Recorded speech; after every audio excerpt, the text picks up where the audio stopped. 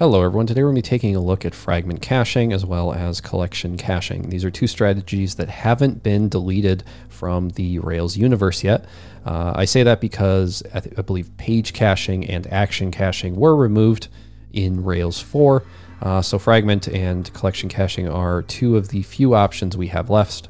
Of course, there's like other other things I'm being slightly hyperbolic, but you get the idea. So to perform fragment caching, it's pretty simple. Basically what we do is we grab a fragment on our page. In this case, each of our partials is a fragment, and we tell Rails, hey, this is important, we need to cache this.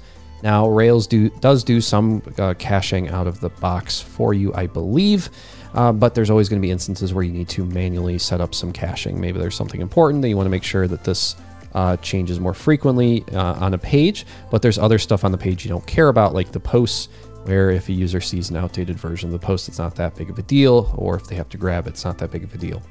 So for fragment caching, usually you're fragmenting a portion of the page and caching it.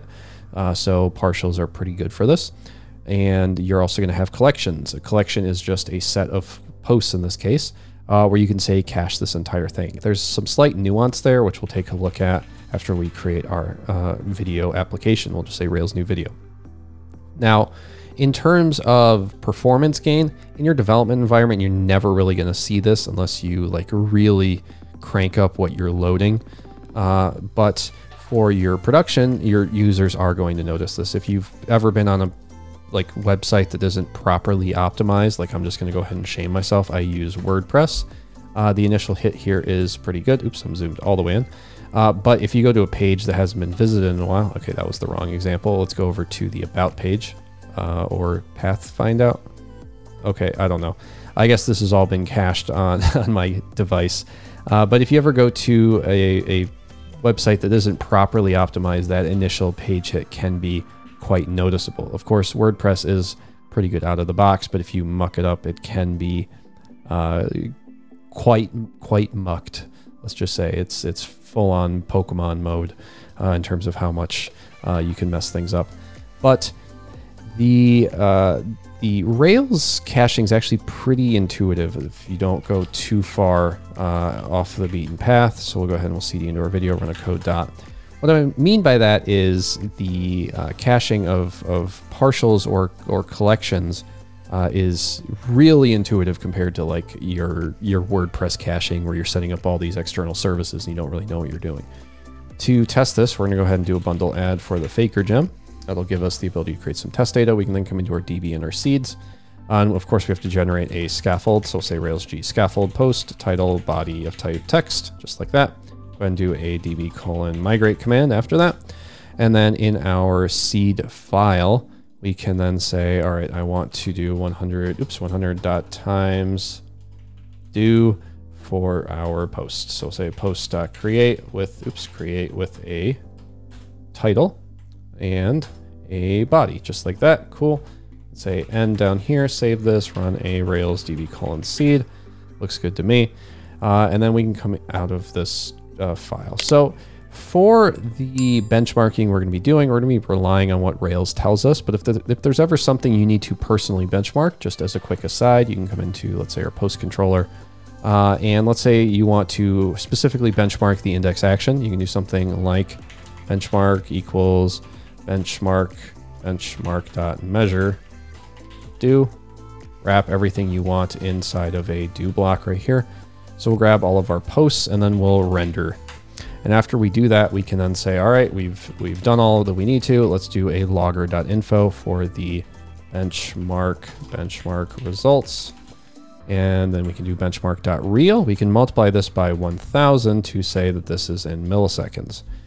Uh, of course, Rails is going to tell us what the index action does for us out of the box. If we do a Rails S uh, and we refresh, we'll see that it says completed 200 OK in 474 milliseconds. Of course, there's some additional stuff happening, so this number and this number won't exactly match up, but you get the idea. So if you ever need to benchmark something in Rails, this is just how you can do it. Just because we're looking at numbers, someone's going to ask, uh, so this is probably a good way to, to show you, or a good time. But okay, let's come into our views, our posts, and our post index page. Now, if you want to cache something, uh, specifically something that isn't, uh, you know, going to be uh, optimized by Rails out of the box, Uh, one of the ways you can do that is you can say, all right, let's say we have these posts. For each of these posts, we want to cache them. So let's do a cache post do. Uh, and let's come down here and do the end block. Now, it doesn't always make sense to wrap stuff in a, in a block like this, but let's go ahead and let's refresh. Uh, and now we should hopefully see uh, if we uh, refresh that nothing's happening. So why is nothing happening? Well, it's because we haven't enabled caching yet, which is what I mean when I say this can be a little bit deceptive. Your numbers here look pretty good, and your initial number is always going to be bigger than the subsequent numbers. So this is 300 milliseconds. We refresh. It's 27.6 milliseconds for 28. You can see that like, although we don't have caching enabled, something's clearly happening here. And a lot of that can just be, you know, what fluctuations with your computer, etc. So don't put too much stock into this out of the box. Uh, but if you want to enable caching, we can do, oops, we can do a Rails dev colon cache. That'll enable it. If you ever need to see if caching is enabled, you can come into your config, your initializers, oops, sorry, your, your environment, your development.rb. In here around line 20-ish, you'll see this block, which says if you've run Rails dev cache, it should be enabled. If it's enabled, it'll do this stuff, which is just saying perform caching, enable fragment caching, set the memory store. By default, it's set to the null store, and set the headers to expire after two days, or have a max age of two days. Down here, this is if you don't have caching enabled. If you want to check if caching is enabled, you can always just toggle it by running this command again.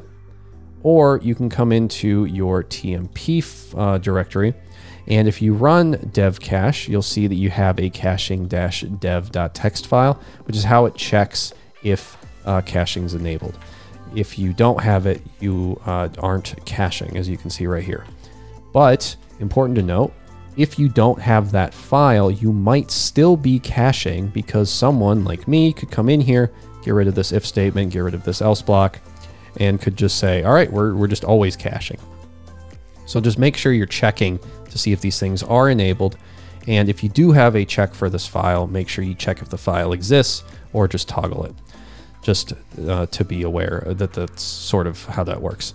But okay, we have this cache happening. We have our cache store enabled. Let's go ahead and let's run a, oops, not, not that. Let's run a Rails S and let's go ahead and let's refresh. Our initial hit is 338 milliseconds. We can see right here we're writing fragments, we're reading fragments, and you can see each of these has the ID in front of it, which is why it's going like 100, 99, 98, etc.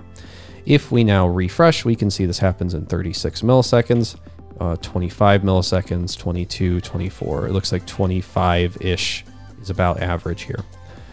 But okay, we have all of these. Uh, what else can we do? Well, this fragment caching is great, but you'll see our time isn't great here. If you do need to speed things up a little bit more, there is one other trick we could try, which is to just get rid of this entire block here. Instead, you could say render a partial, which will be post slash post, pass in a collection, which will say collection is at posts. And then you can do a, well, I guess we'll just leave it like this. We can save this, come over here and refresh.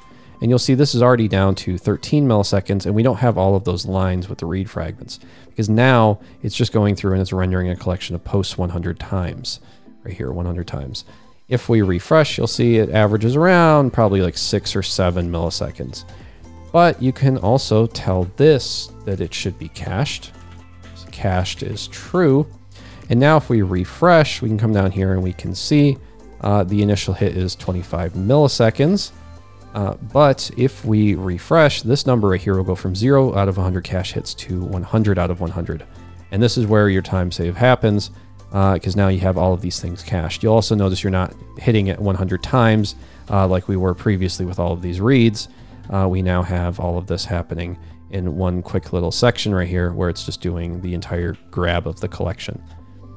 And if you ever want to see what this looks like in an actual uh, scenario, what you can do is we'll just quickly revert back to our at posts here where we iterate through each of these. And then instead of just doing this, we can come down to the bottom here and we can do a sleep for 0. Point, I don't know, 0 0.1, I guess, something like that.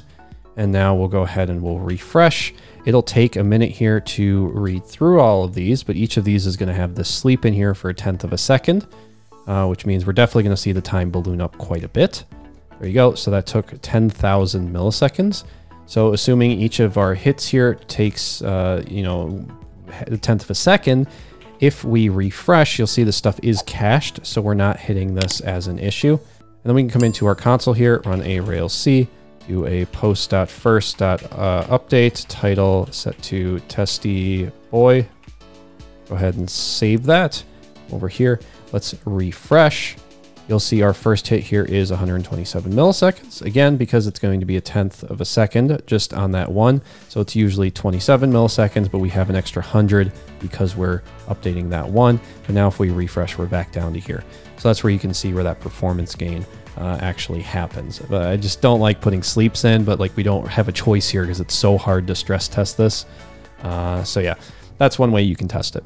Uh, but that's going to do it for this video. Hopefully this was interesting and helpful, and hopefully I'll see you in the next one.